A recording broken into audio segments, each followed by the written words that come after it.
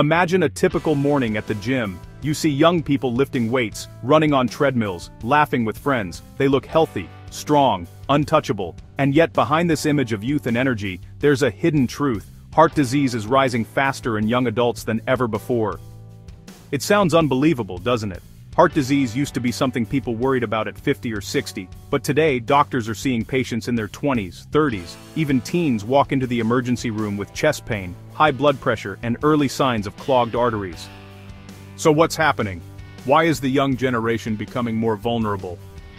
First, let's talk about lifestyle. Today's world moves fast, too fast. Long hours on screens, less physical activity, irregular eating, and constant fatigue have become normal. Many young people spend most of their day sitting, at school, at work, in cars, at home. And a sedentary lifestyle slows metabolism, increases inflammation, and puts enormous pressure on the heart. Next, stress levels are higher than ever. Academic pressure, financial struggles, competitive workplaces, anxiety about the future. These stresses trigger chronic cortisol release. When cortisol stays high for too long, it raises blood pressure, increases belly fat, and damages blood vessels. The heart becomes a silent victim of emotional overload.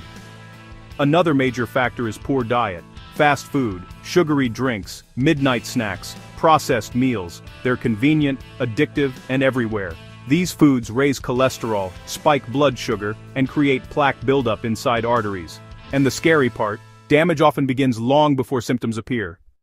Then there's lack of sleep. Many young people survive on 4 to 5 hours a night, thinking it's normal. But insufficient sleep disrupts blood pressure regulation, increases inflammation, and weakens the heart's ability to repair itself. Over time the heart becomes more vulnerable to disease.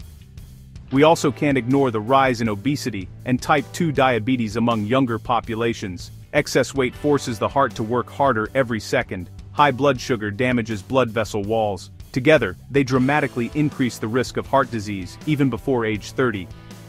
And lastly, smoking and vaping. Even though smoking rates dropped in older adults, nicotine addiction has surged among the young.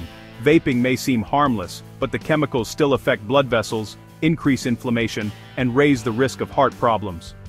So yes, young people might look healthy, they might feel invincible, but inside, many hearts are aging far faster than they should. Your heart doesn't care about your age, it cares about your habits, and the good news, habits can change.